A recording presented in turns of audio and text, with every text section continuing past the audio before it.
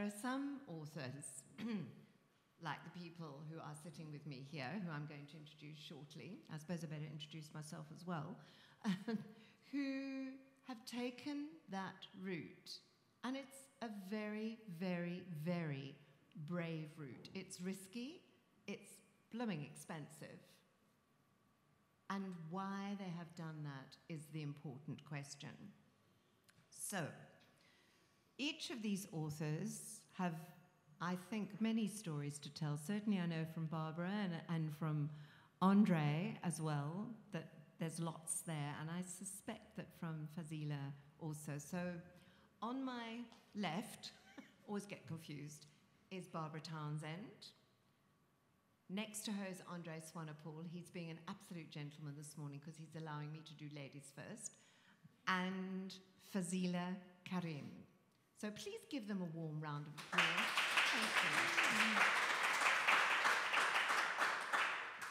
And just to, oh, you'll probably want to know who I am. so my name is Beryl Eichenberger. I am hugely privileged to be a facilitator at um, the Open Book Festival. I've known Frankie for probably over 20 years when I was in PR, and the magic of books has always been something that I've grown up on.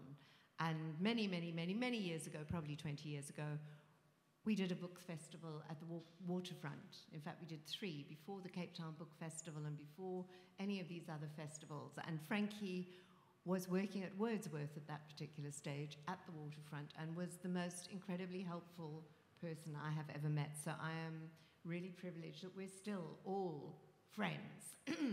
and I generally have to take out a mortgage on my house during open book because I want to spend so much money on books. But I do book reviews for Fine Music Radio and for the media.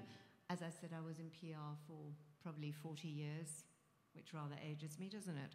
but who cares? And I just love being around books. So, how are we going to run this morning? Well, we're going to hear from each of these authors. I'm giving them a platform of 15 minutes so that they can tell their story. And if they stumble, well, I'm sure that I'll be able to jump in with a question. And I want to tell you that the journey is fraught with obstacles. It's not just giving it to a printer giving your manuscript to a printer, there's the printing, the distribution, the marketing, the promotion, you name it, and all the tags that go along with getting a book out there and into your hands. And just in saying that, all of these books are on sale downstairs afterwards, so I hope that you are going to support these very brave authors. It's not easy, and I really do applaud you all.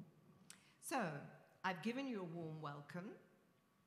I'm going to give a short bio on each of them before they sort of step up to the mic, but step up being uh, metaphorical. You can sit, it's much more comfortable. And I think it's more like a conversation that we're going to have, I hope.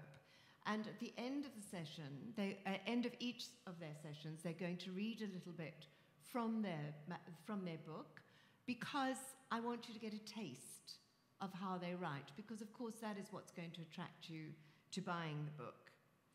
And then we can take questions or comments. And just to let you know that all of these sessions are being recorded, so you will be able to go back to them afterwards once they're all up on YouTube, which is really exciting. And you can use them as PR tools, always a good idea. And uh, so I, I thought long and hard about the sort of questions that um, I thought needed answering because I'm, in, as I said, I'm involved sort of in the book industry on, a, on the sidelines to a certain extent. And I'm part of an organization called Woman's Own, and we have a women's library. And that was started by Nancy Richards, and I've had the privilege of working with her for the last 11 years or so. And we get a lot of self published books, and we are happy to have self published books. But as we were talking about earlier, there, there tends to be a little bit of, there's a misconception about them, and I think that's your job is to tell people why they should be buying self published books. So, I think that it's important that you can tell your audience what your stories are about and why it was imperative to have them published. What made you, what compelled you to go out there and take this huge risk? I want to also know, and I'm sure some of the audience will want to know, is whether you did contact mainstream publishers and what was their response, and, or whether you decided to self publish right from the, the beginning. And then I'm sure there were some challenges. So perhaps we can talk about some of those challenges. And I'm thinking of the editing, distribution, and promotion, the amount of time you personally have to spend in, in promoting your book. So that, I think, is enough from me. And I. Right. So, Out of Mind. It's a story of Robben Island, uh, uh, an island we're very, very familiar with, but it's a very fascinating story, and I'm not going to queer Barbara's pitch by saying anything more about it, but let me introduce you to Barbara Townsend, whose lifelong love of reading and writing stories led her to the fields of librarian, a teacher to people from 3 to 70 years, a textbook writer, and a facilitator of creative writing for children. She has written children's books, farm workers, and students from Gabon. Her aim has been to give a voice to people who might otherwise be forgotten, telling the lesser known histories of South Africa. So, from that, you have realized that her genre is historical fiction. She's contemplating a third novel and is working on an anthology of poetry. So we have two poets here as well, which is great. Barbara, your first two novels are Ida's Line and Out of Mind, a story of Robben Island, which is obviously the one we're going to talk about today. It's the little known stories, the people who inhabited um, the island, the leper colony, and the people who worked. So, Barbara, the floor is yours. Perhaps I might start with asking what inspired this story? How did it all start? Um, both of them, and here's the other one. But I'm not talking about Ida today. Sorry. Um, both of them started as a segment of family history and was prevailed upon by my brother's children um, who decided that I really wasn't very busy anymore and I could just settle myself down now and write the family history. So I did. So the Ida's line is a piece of that, and the Robben Island is a piece of that. But both books led me to the archives because when I'd written the family history, I felt when I looked at all the names, and there's a family Bible for the one book that, that the one book relates to a family Bible, and I used some of those names in my story. In that family Bible, there were all these names of people who weren't alive anymore. And I thought they need context, they need texture, they need a voice. They need to come alive. And my search for the context took me to the archives, and there I was overwhelmed by interesting information in the case of both books. And that is what compelled me, because at the archives, my family history faded into insignificance, and a lesser known history of South Africa in the case of Out of Mind, um, a story of Robben Island, that lesser known history that did not have to do with political prisoners, although I honor what they went through. The leper colony and the people in the insane asylum, some of them there because they had epilepsy, people in the leper colony who were there who did not have leprosy, who had other skin ailments, people banished. And I thought that it was important to give them a voice so that they wouldn't be forgotten and so that that history could be added to the history of Robben Island that we know. So that is that is what compelled me, apart from the nephews nudging at my elbow. Have you finished yet? um, so, so that, so the two books arose out of that. Um, and I think your next question, Beryl. Well, I was going to ask you how did you research and publish, but I Yeah. think I want to ask you to give a little a synopsis of the story because I'm busy reading it and I'm I didn't stop reading it last night. I nearly had to like no, I need to switch the light off because I need to get some sleep. And it's a fascinating story, uh, uh, particularly because you, you talk about those people who were working there, who, but who had very kind souls, who saw beyond what the colonial, colonialists were actually doing and tried to get beyond that. So talk about your, the story, the Reggie and Vera story, if I may. Okay. Um,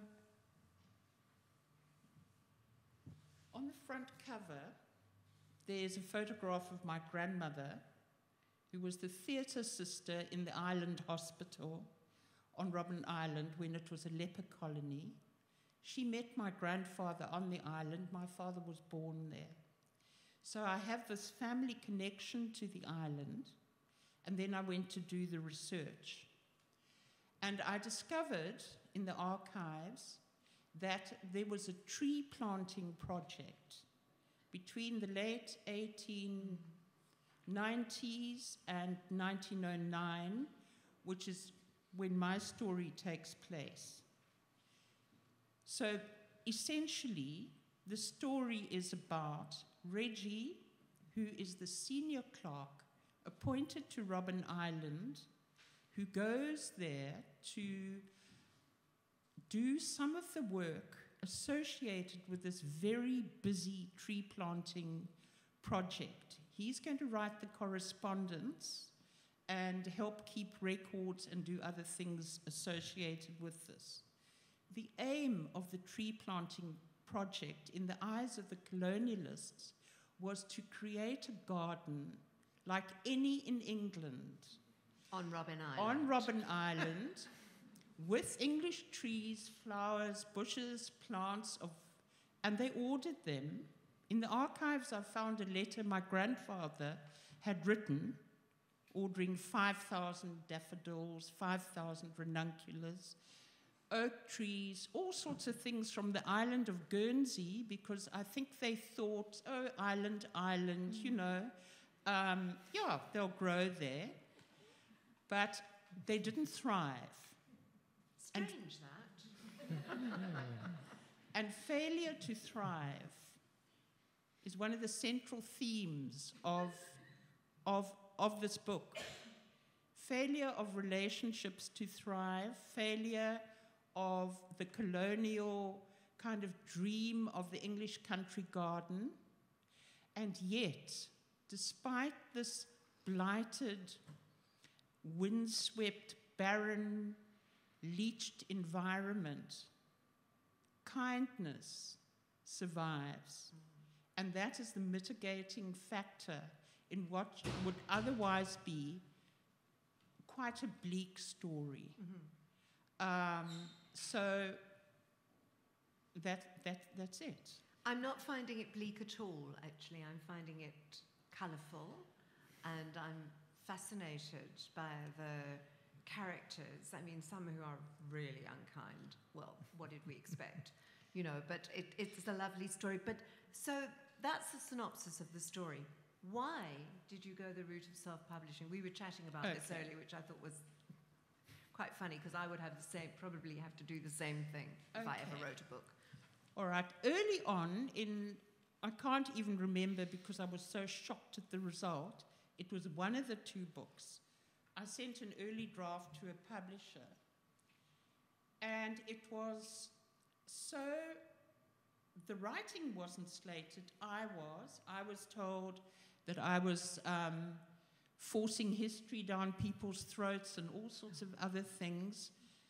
And when I recovered from this attack, I popped the manuscript away in the drawer and started working on the other one and realized that the clock was ticking. I'm not 25.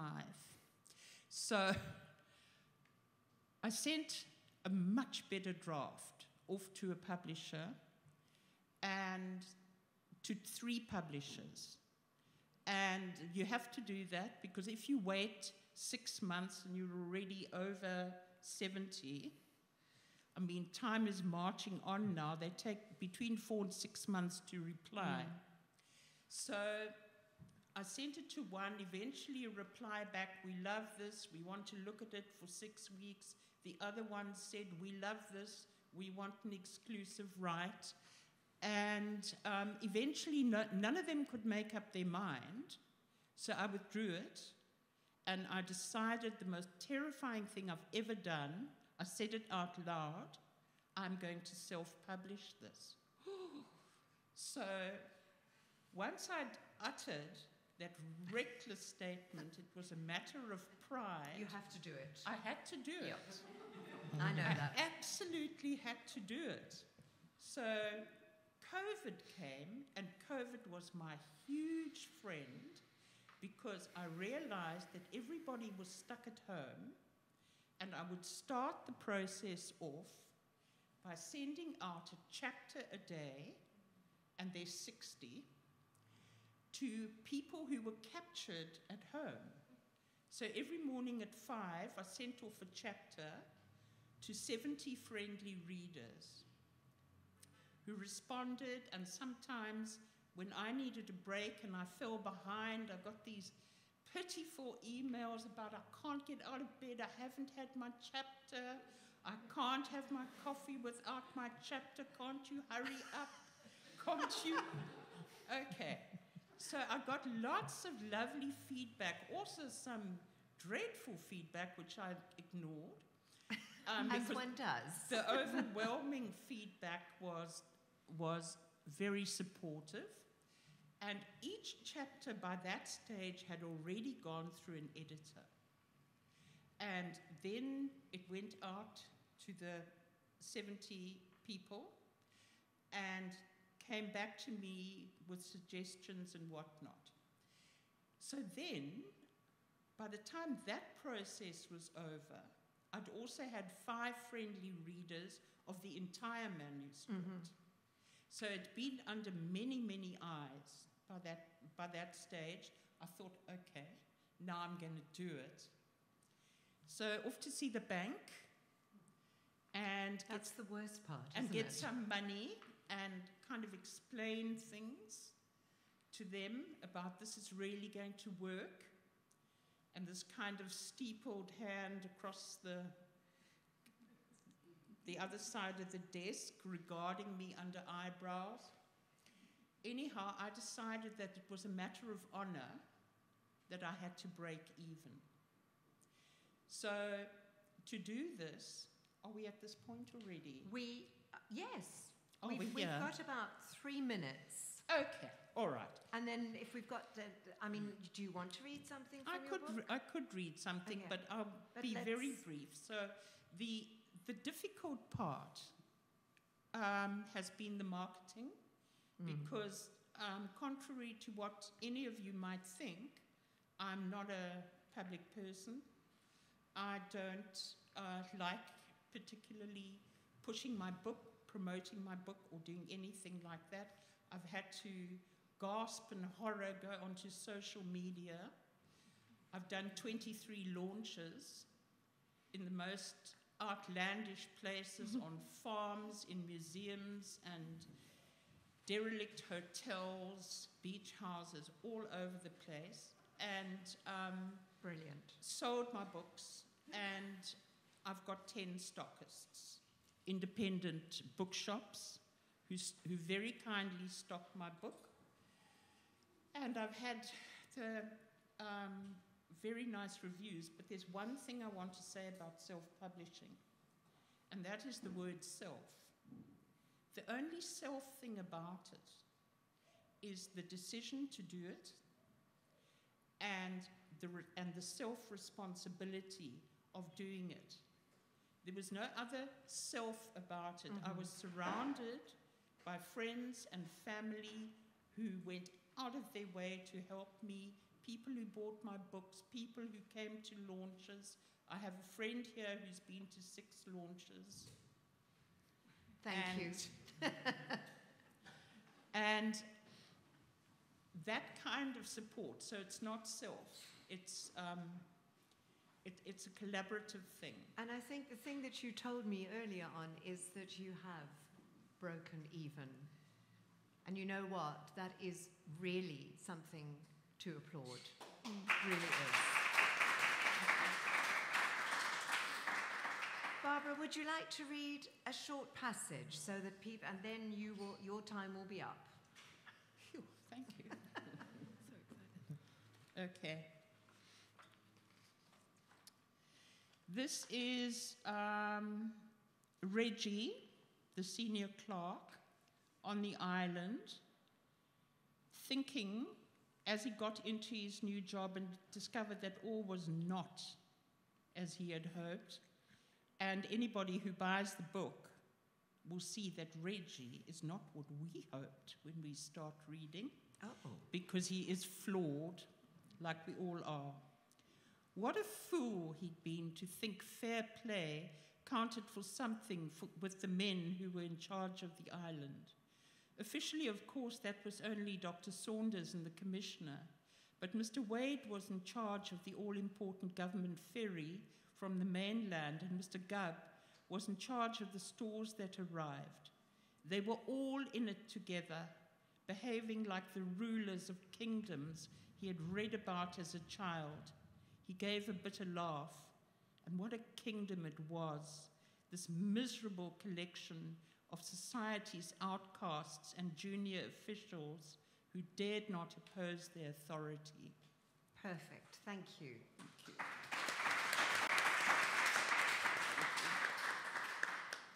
So, on my far left, Fazila Cariem.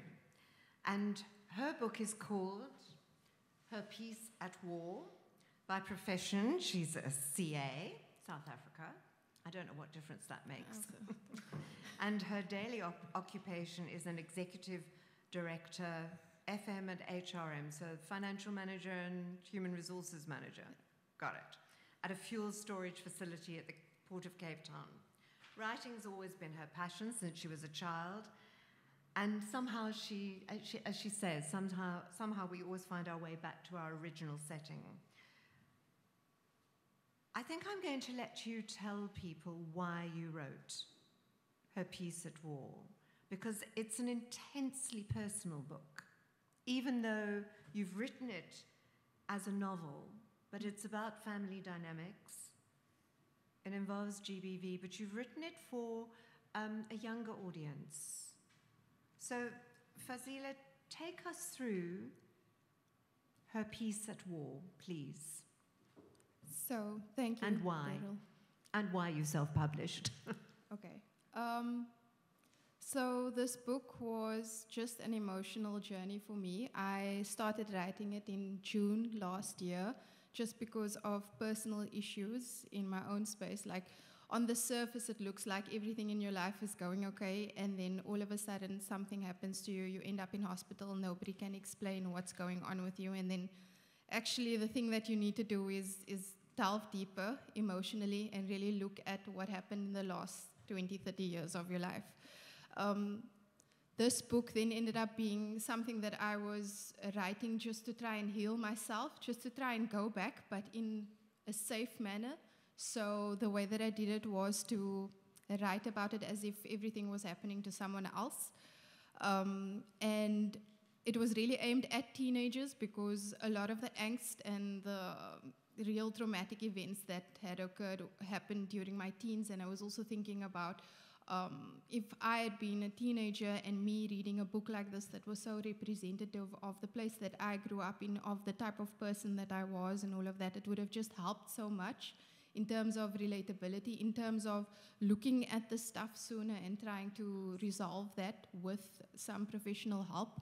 Um, but really, it was five months of just an emotional uh, like outrage just being poured onto pages. And then in November, December of last year, I realized, okay, this is something, and I there was no question about it that I needed to get it out there. It didn't even cross my mind to go the normal publishing route to reach out to any mainstream or anything like that. It was just my own journey and my own way of getting out there. But then I had to put on my professional work at and think about the fact that this is an industry that I have no clue what's going on, so I need to consult with an expert. I reached out to someone that I knew of that had self published and then um, just got all the details from him what are all the things that I need to consider. So, for example, I didn't know that you needed to get a typesetter that would set up the book um, like so that the pages would flow, so that the font flows and all of that. And I don't care about those things. So aesthetically, I don't care about things. I'm just like the content is there. Like even with the fact that this book is there and you need to market it, I'm like I wrote the book what more do I need to do? The story is out there. It's, it's up to the universe to just take this thing places, but it apparently doesn't work like that. No, sorry, um, lots more work there. Long journey. So unfair. it's like a rude awakening. So then he told me about the typesetter, about the fact that you needed an editor. I was aware of the editor part, and I was really glad that I had two editors because the first editor was just there for um, identifying that this is too much emotion. You, there's just too much coming through. We need to like tone it back. And I was just, I fought back. I was like, no, but it's the real feeling, and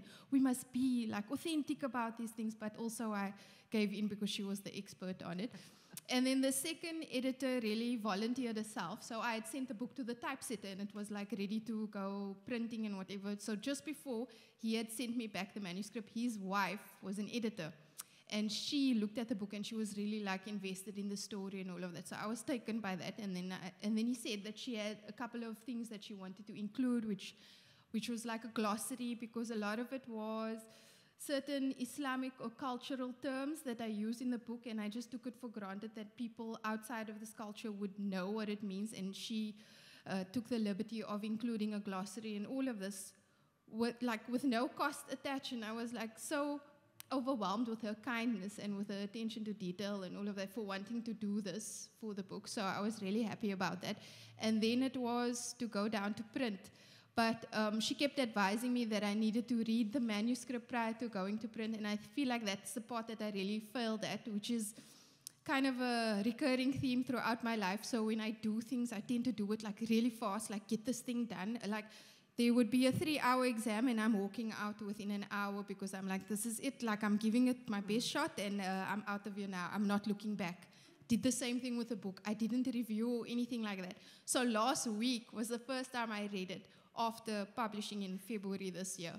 And then I discovered a couple of issues with the typesetting. And then I was like going back to the typesetter now and say, I need to correct these things, but there's like over 200 books out there circulating, and but the feedback, luckily, that I've gotten, I think the emotional aspect of the story really pervades like the, well, that's how I'm telling myself that it's working. Um, it like pervades the technicalities are sort of, that are sort of erroneous and all of that. But yeah, it's been a, it's been a healing journey. Fazila, give us a little bit of a synopsis of the story because um, it's about 14 year old Alia. Is that correct pronunciation? Yes, um, Alia. And yes. she's growing up in post apartheid Cape Town, but she's grappling with the separate, the separations of communities, which we still live with, sadly. So give us a little bit of synopsis, because what, what I really liked was the fact that you've added uh, the lyrics of popular bands and song, uh, uh, popular musicians at the end of each chapter which sort of, in, in some ways, lightened it, but in other ways, underlined what you were saying. So, give us a little bit of synopsis. So, the story is about um, Alia, yes, she's a 14 year old growing up on the Cape Flats, actually. Um, and we talk about her grappling with the post apartheid, but it's more like she's she's there. She identifies these are the separations that they are still living with in the 90s early 2000s, that kind of thing. So the songs that are included in the book, they really do go with the emotion of the chapter and that, and it helps to explain certain situations that she's experiencing. And a lot of her, the way that she's been raised is she's a huge support for her mother. There's a huge aspect of generational trauma that goes on in the book, which was a shock to me because I was just like on the surface of it, generational trauma is an abstract concept. This is not something that I've ever suffered with. And then when I wrote it, I was like, oh, okay, there's an element of this that I was clearly struggling with. Um, so there was that, and there's there's a friendship that I think I always used to emulate that level of a friendship. So like it's a trio, it's a like it's the three of you against everything else that's going on in life, and they are really a support to one another. So it's Riza, Alia, and Aisha, and it's just about growing up in high school and having all this stuff going on at home and trying to find your support base. And what Alia ends up doing is like really questioning her destiny and the universe and like even her creator sometimes because of everything that's going on. There's even a line in the book where she talks about is her um, is her happiness the sacrifice that needs to happen in order to create the balance in the world because that's just how it feels like Mm-hmm. everything that's going right for everyone else is something that's going wrong for her which is a bit narcissistic now that I think about it. It's like all about you. But I think that's what a book does. It's like you, you can either agree with the with the lead and, and the fact that the person is sort of painting themselves as the as the hero of their own story, or you can go back to it and really criticize those things. So I'm I think I'm in that space of criticizing quite a bit what Alia has done. So it's a bit of autofiction. So some of it is like obviously true. Well, they say you write about what you know. yeah, yeah. You know that that's important, and we all put something of ourselves, I think, into anything that we write. Um, and promoting the book, have you lau- how how have you launched it? What have you done with it? I thought I did pretty okay, but then I heard Barbara talk about the 23 launches and the outlandish place, and I was like, oh, okay. Because I was more like, then I was comparing it to what I was doing, I which think was. you've got a lot to talk to each other about. No, You know, absolutely. because this is a learning journey. Mhm. But but it was very much. Uh, uh, I'm sorry if I'm repeating myself, but I think that having read your book and I'm ha- I'm halfway through your book or nearly, um, but it it's there's so much healing that has gone through this writing, and how healed do you feel having written the book? Um, so, Has Def- it helped you? yes, heal? it, it has, because since putting it down onto paper, it's no longer the thing that's living inside of me and that Mhm. I'm carrying with me into every interaction. It's now separate, and I can go back to it. And when I do go back to it now, like last week, uh, I didn't feel that intense emotion. I didn't feel the hurt. I now feel the understanding and the empathy for the people that have maybe been um, sort of really big with the with the perpetrating of the injustices. I can understand their context a bit better now. I have a clearer view because it's made me a little bit more objective about the things that have happened. So I think definitely in that way it's been a healing a healing journey. Yeah. You've let it go. yeah. It's in in, stages. It- I mean, yeah, yeah, yeah. something will occur Nothing, and nothing you happens just in one big go. no, yeah. So, anything else? Are you going to write something else? Has it spurred you on to write another novel? Yes, definitely. I'm actually busy with the sequel to this book. Great. Yeah. So. Fantastic. mhm. And how did you find getting out to y- your target audience was teenagers? Yes. How have you got it out to those teenagers? I've not been very useful in that space. Um, so I mean, initially, is it something to go to schools with? yes. So I actually went to um, Westerford High School shortly after I had published. So that was really uh, a fascinating experience for me because I also thought about uh, it's not really going to be very relatable because I was a twenty like. I was a teenager about 20 years ago, and I don't really relate to things that are going on right now. But that space really showed me that their struggles are the exact same. They are still Exactly. the crutches for their Yeah. parents. It's so mm. crazy.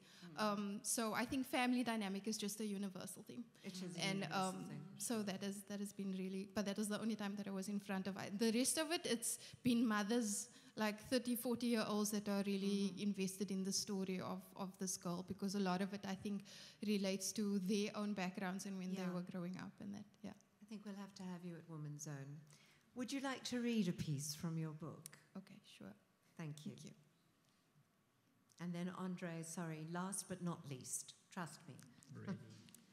Um, so this is a scene where Alia is um, she's at a friend's place, but then the friend's mom and aunt is there, and so they're kind of grilling her, which is like a, a rite of passage anytime you go to your family. Um, Assalamu alaikum, Daddy and Auntie Nisrin. That's Alia. Wa alaikum salam, Aunt- Auntie Nisrin beamed at me, and Daddy nodded her greeting in response. How's your aunt doing, Alia, the one with the factory? We didn't see her at Akbar Bai's iftar function last week. Ah, the interrogations were inevitable, but I was so accustomed to them that I refused to be outwardly triggered and instead turned it into an internal source of entertainment. Oh, KJ, I think she went to Joburg for a business conference or something. I had no way of knowing for sure. The last time I had seen KJ could have been years ago, but I did follow her business page on Instagram and there was a Joburg movement. Allah, in the fast? Daddy did not even bother to disguise her judgment. Auntie Nisreen did not waste the opportunity to tag on her own opinions. Well, that's the life she chose, she clucked. No regard for the sanctity of marriage and the sunnah it represents, and instead she chases after dunya matters. There was such disdain, such transparent condemnation for the choices KJ made. It made me cringe. And yet, had she been a man, these actions and choices would not just be applauded but encouraged. Aisha's eldest uncle, Daddy's son, Chicha, was single forever and a business mogul of note. No one said he was running after worldly success and ignoring the sunnah. Was it truly condemned by our religion, or was it a cultural issue for a woman to be business focused rather than family orientated? And were, all the, were these all KJ's intentional choices, or did she have to make the most of what fate had dealt her when her parents passed away? For the first time in years, I felt a stirring of empathy for this person that has shut down my mother in her time of need. Thank you. That was lovely. Thank you very much. Thank you.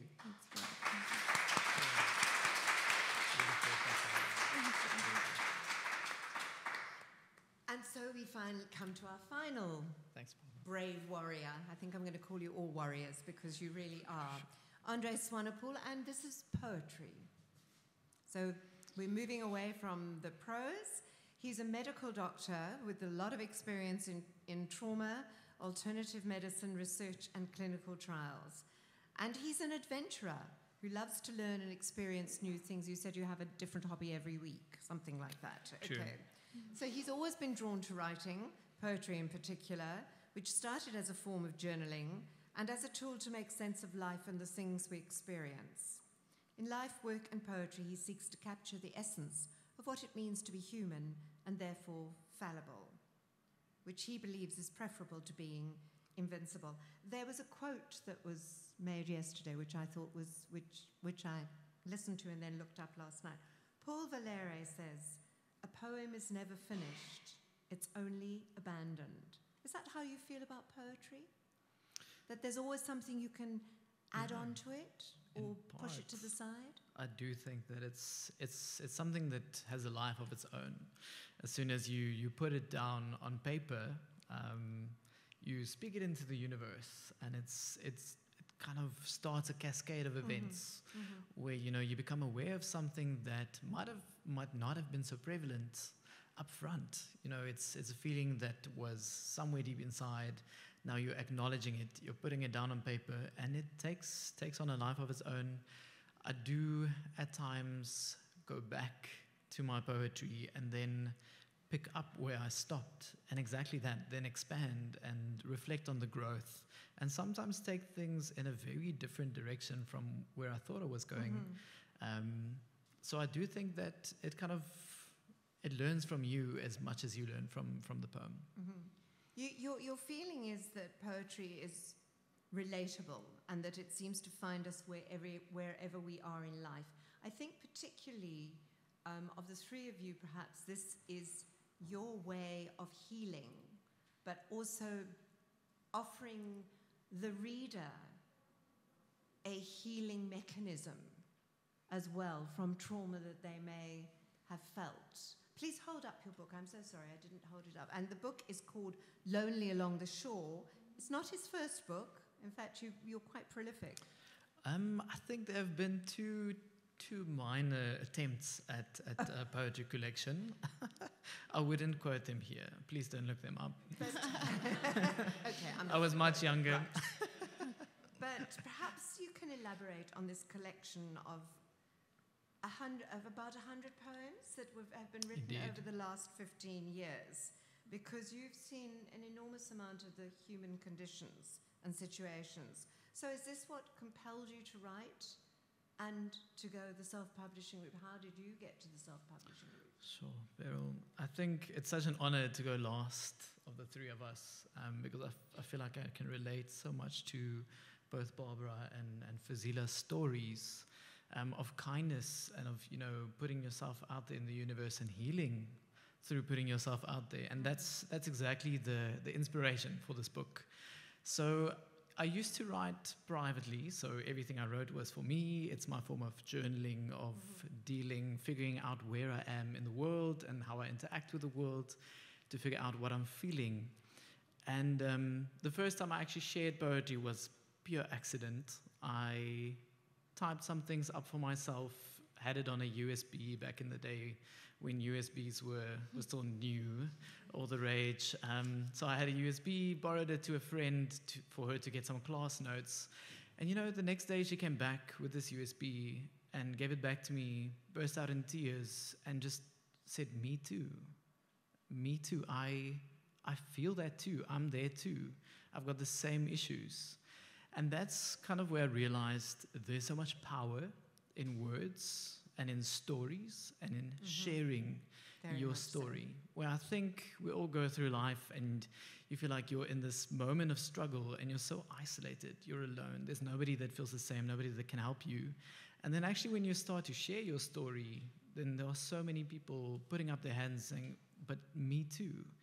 And that's, that's what I hope that this book will achieve is a cascade of events where I'm the first one to say me too. And then you you can read and perhaps relate to it and say me too. And thereby you don't feel alone i don't feel alone. And in our loneliness we're together. There's so much power in togetherness and in solidarity. And i think we miss it. In our struggles we we feel isolated and alone. Um, you know put it put it out there. So that was the main inspiration behind these poems the title lonely along the shore it sounds depressing it is depressing um, so just putting it out there He's very Um, honest. trying my best to be very honest.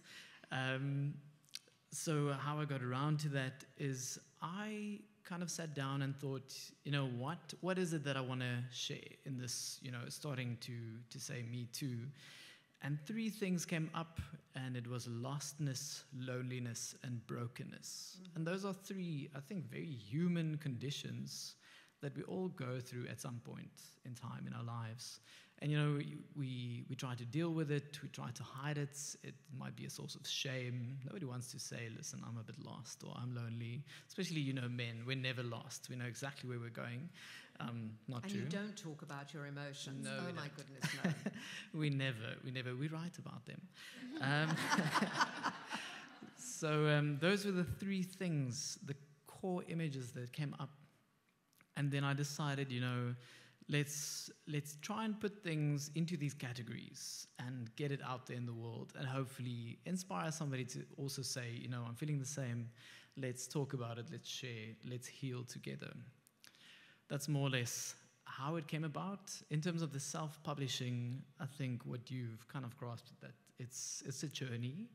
It's not a quick thing. It's definitely not easy. Um, I would kind of say it's like Olympic Games, but you are the athlete and you're competing in every event, and you better be good at that event because in the end, the final product, you want to sell your final product, um, which is quite hard. And for me, like with Barbara, I, I feel like the first, the first hurdle I encountered was thinking, I'm putting this out there in the world. It's me, it's my story, it's my emotions. That's a very vulnerable thing to do.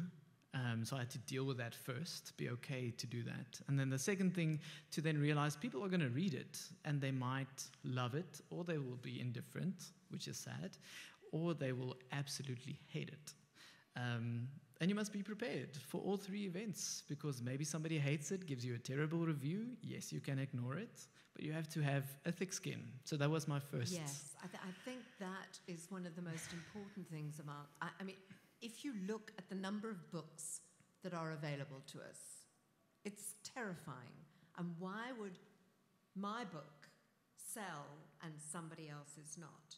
And that putting yourself out there is Yeah. the most incredibly brave thing mm. because you're putting yourself out there for criticism, and nobody likes criticism. As much as we try and be grown up about it or adult about it, and oh, yes, well, this is constructive and all the rest of it, we don't like it. You know, when somebody says, Yeah. I didn't like your book, it's hurtful. Mm. And you, and, and you have to take it on board and say, well, so, but she liked it and he liked it, and so what? Nobody's got, you know, we don't like Yeah. the same food.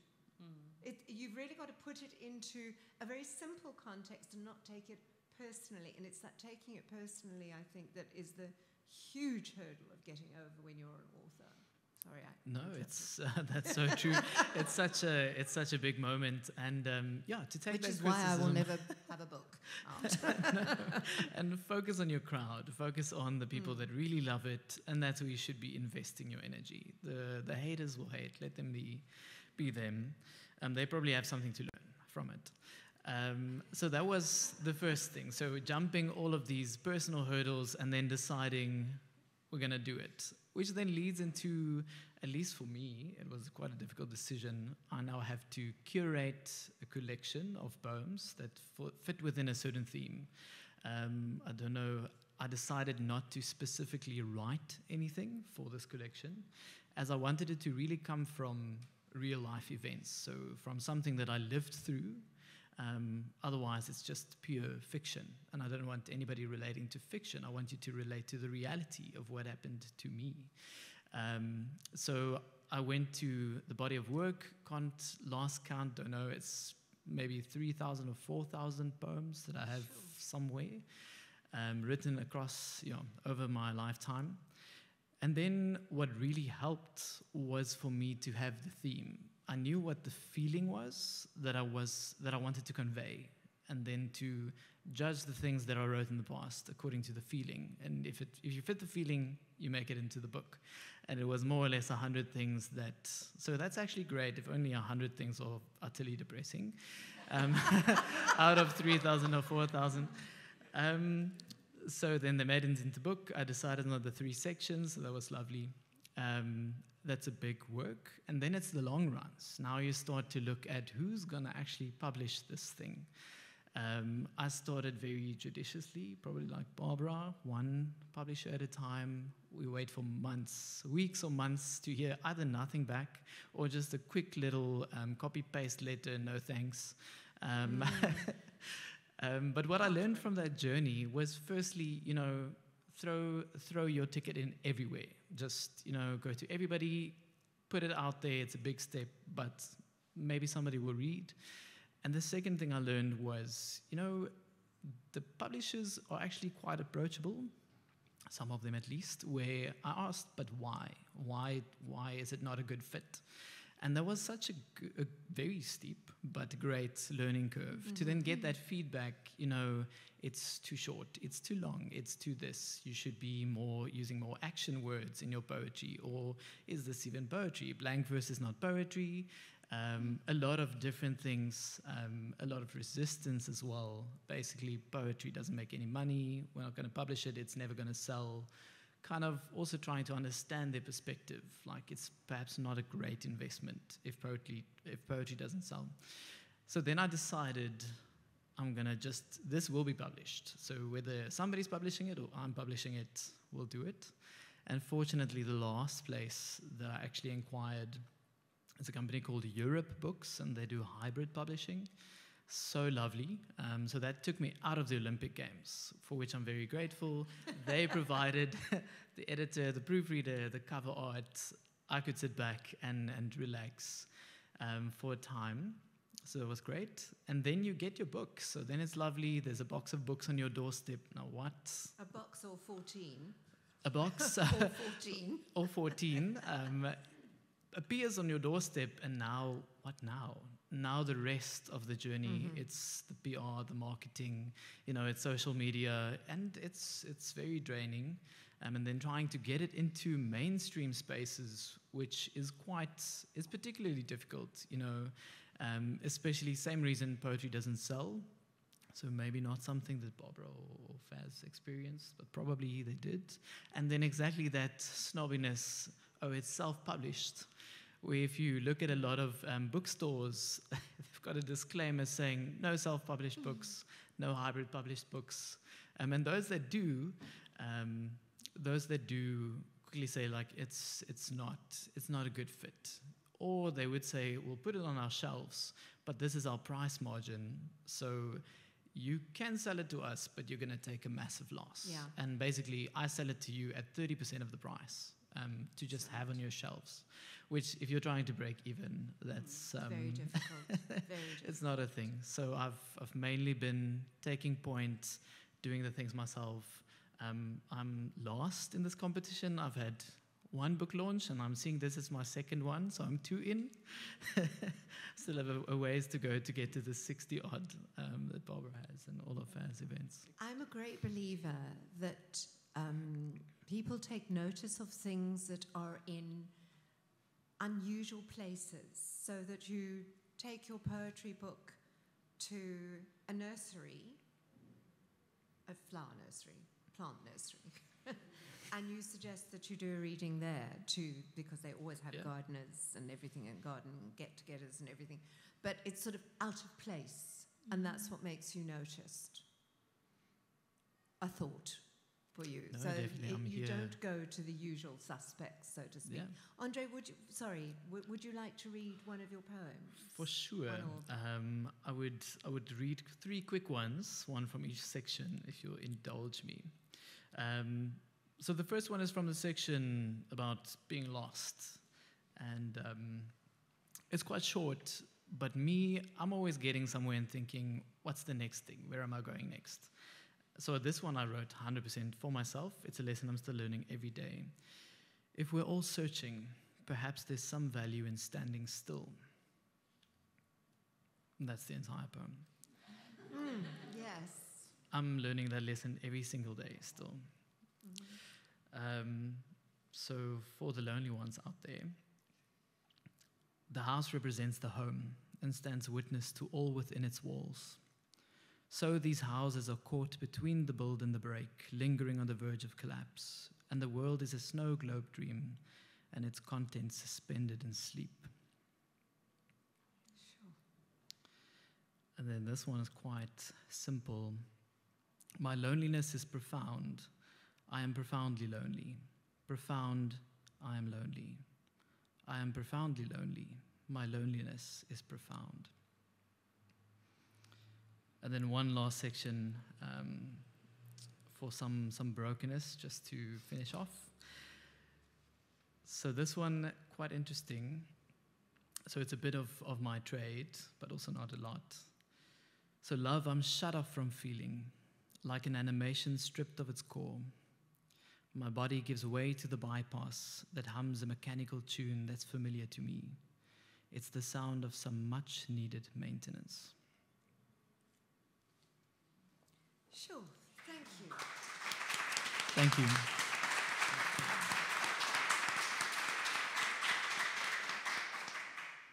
We're nearly out of time. I can't believe that. But yeah. Thank you. You have all been absolutely amazing.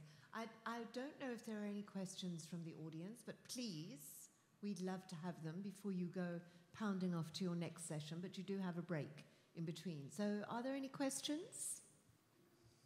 If I can see. Um, sorry.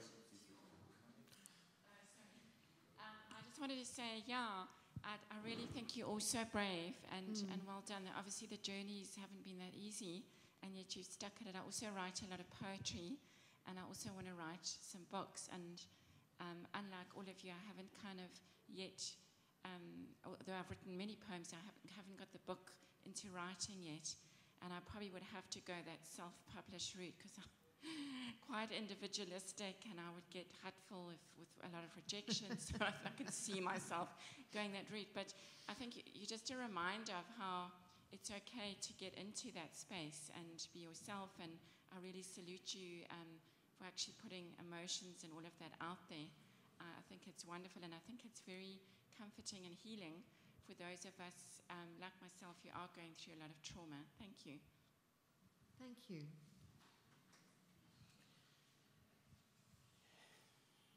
I think there's Anne would like to say something. Hi. Um, yeah. Uh, obviously, you're doing something more than having 14 books in a box in your hallway because somebody invited you onto the stage. So, well done on whatever it is you think you might not have done. Um, I want to just ask you do you find as though your previous friends are looking kind of shifty eyed and dodging you and avoiding the topic of your book? Has it changed any dynamics in your um, social lives as far as you've noticed? Interesting. Fazila? Yeah, definitely. Um, I've not seen 40 of my cousins since I've published. they, um, they've not read it, but they've made assumptions that I'm um, basically exposing the family. Um, and uh, from friends, I've just really understood who my inner circle is, and I'm just really, I feel really grateful and blessed with, with mm-hmm. who that is, and, and the, the support, the proper objective support from people, but definitely the alienation and the rejection, which is like also a lot of implied rejection, what you were saying earlier about um, the feedback, the negative feedback, mm-hmm. and all of that. Part of it is even the reception of the mm-hmm. book and implied rejection, and you having to sift through and be reflective about that feeling of rejection and what is it really and what is it about it that affects you so much and distance yourself maybe from it so that it's something healthy that you can have a relationship with and not something that is going to drain you daily. Mm-hmm. That's just been my experience of it. Andre, have you had that experience? Sure. Fortunately, nobody that's dodging me. but um, but for sure, I do get a lot of people that you know send me a picture and just tell me this is my favorite one, or did you is this about me, or did you write this for me? And I'm like, yes, of course I did. It's it's all you. um, so buy the book for Christmas, give it to your people. It'll make me really happy. Um, but no, a lot more engagement and more of what I've hoped that this would be an opportunity for people to say, you know, I feel the same, and thank you for making me feel seen.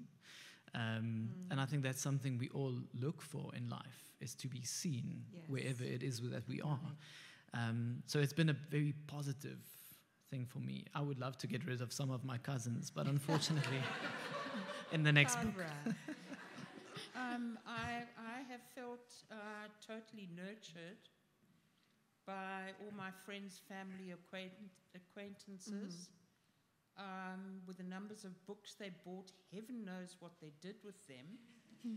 But um, yeah, um, and just general kindness um, and contacts, lots of contacts. And if I today can inspire anybody here to publish their own book, it would make me very, very happy. Um, it's a hard journey, but there is nothing, maybe having a baby, but there is nothing quite like holding a book with your name mm. On the cover, the cover you chose, not some bossy person told you to have. Um, there's nothing to beat that feeling.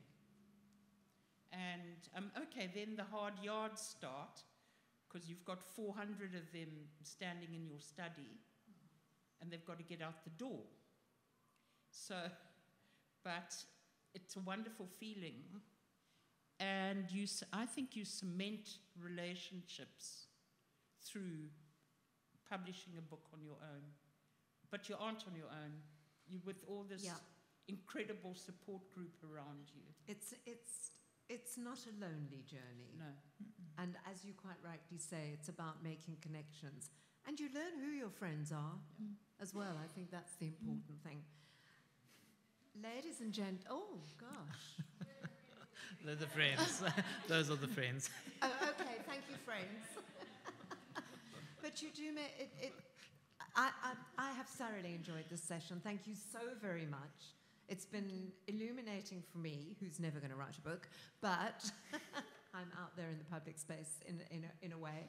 But thank you, all of you. I, I wanted to make one remark about your covers because I thought that the cover design, and I sort of, I love design, and I thought that your covers were very relevant and they told me what your book was about. Mm. So whoever did your designs, well done. They, they, they really are excellent. So now, will you please go downstairs?